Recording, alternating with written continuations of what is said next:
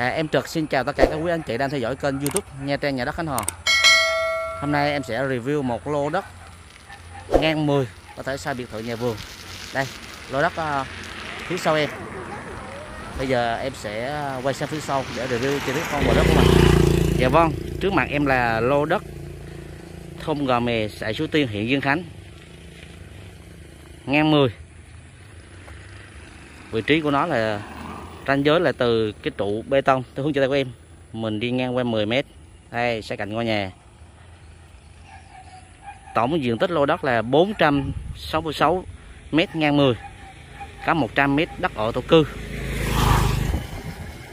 Lô đất rất là phẳng con đường hiện trạng của lô đất là rộng 4,5 mét sâu quy hoạch là 15 mét.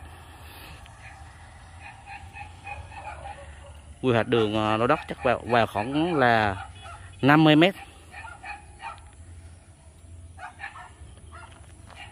Đây. Theo hướng chữ tay của em là mình đi thẳng ra hương lộ B9 là tầm ờ, hơn một cây rưỡi. Từ vị trí lô đất của mình mà cách ủy ban xã Suối Tiên thì khoảng là hơn hai cây về cách trường học và xã Suối Tiên. Là tầm hơn một cây rưỡi. Lô đất rất là bằng phẳng.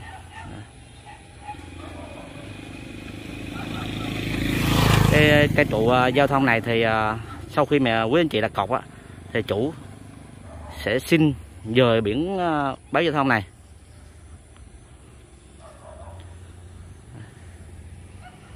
Từ vị trí lô đất của mình mà đi ra hướng ngã tư giao nhau giữa quốc lộ 27 và đường quốc lộ 79 là tầm à, 8 cây. Và cách thành phố Nha Trang mình là khoảng hơn à, là khoảng hơn 20 phút.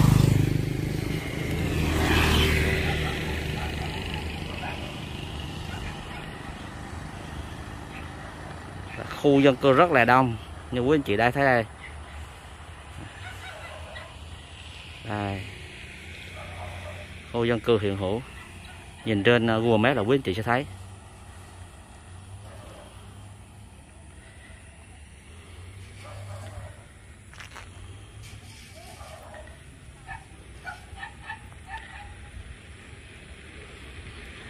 Lúc em review là tầm khoảng là hơn ờ, 4 giờ rưỡi chiều. Trời nắng, rất là đẹp. Giá bán cho lót của mình là 1 tỷ 6 70 triệu. Bớt lọc về bao sang tên.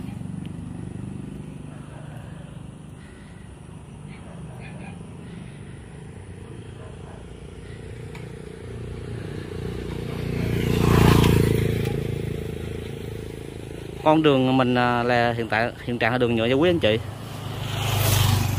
À, đường mình là đường à, liên thôn, đường thông.